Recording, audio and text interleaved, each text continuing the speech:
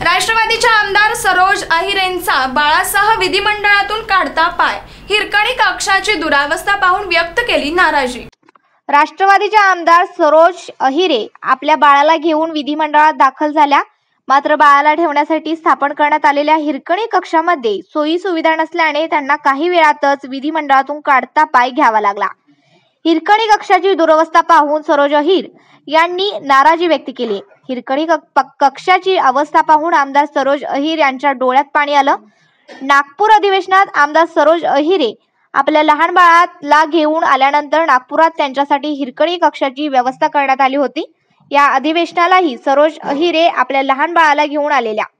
परंतु हिरकणी कक्ष खराब असल्याने विधिमंडळातून काढता पाय घ्यावा लागला. विधान भवनातील हिरकणी कक्षाची अवस्था पाहून आमदार सरोज अहिरे यांनी अनेक प्रश्न उपस्थित केलेत. माझ्या मतदारसंघातील लोकांचे प्रश्न मांडण्यासाठी या अधिवेशनात माझ्या लहान मुलाला घेऊन आले होते. लहान मुलाची तब्येत ठीक नसतानाही मी घेऊन आले आहे. माझ्या मागण्यांची योग्य दखल घेतली नाही तर मी पुन्हा माझ्या मतदारसंघात जावे लागेल असे सरोज अहिरे यांनी सांगितले. आणि माझ्या देवळाली मतदारसंघासाठी न्याय मागण्यासाठी मी इथे पुन्हा माझ्या बाळासकट आता त्याला आणणं अनिव अनिवार्य आहे कारण तो पाच महिन्यांचा होईल आता तीस तारखेला. तो माझ्याशिवाय राहू शकत नाही म्हणून मी नागपूरलाही घेऊन आले होते आणि इथेही त्याला आज घेऊन आलेली आहे. मागच्या आठवड्यात तेवीस फेब्रुवारी दोन हजार तेवीसला मी प्रधान सचिव यांच्या नावे हे पत्र दिलेलं होतं. येथे मी हिरकणी कक्षाची मागणी केलेली होती.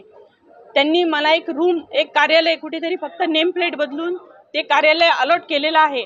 परंतु तिथे प्रचंड धूळ आहे बसण्याची व्यवस्था नाही बाळाला झोपवण्याची व्यवस्था नाही पाळणा नाही कुठल्याही प्रकारची हिरकणी कक्ष म्हणून व्यवस्था केलेली नाही आहे नागपूरला बघता जेव्हा मी सूचना केल्या तेव्हा दुसऱ्या दिवशी त्या सर्व गोष्टींचं पालन केलं होतं आणि मला त्यावेळेला कमिटमेंट दिली होती की पुढच्या अधिवेशनाला मुंबईला आपण कायमस्वरूपी एक हिरकणी कक्ष आपल्यासारख्या महिलांसाठी करू जेणेकरून आपल्या मतदारसंघासाठी काम करताना आपल्या महिला आमदारांना सहकार्य होईल. परंतु आज कुठलीही व्यवस्था तिथे झालेली नाही आहे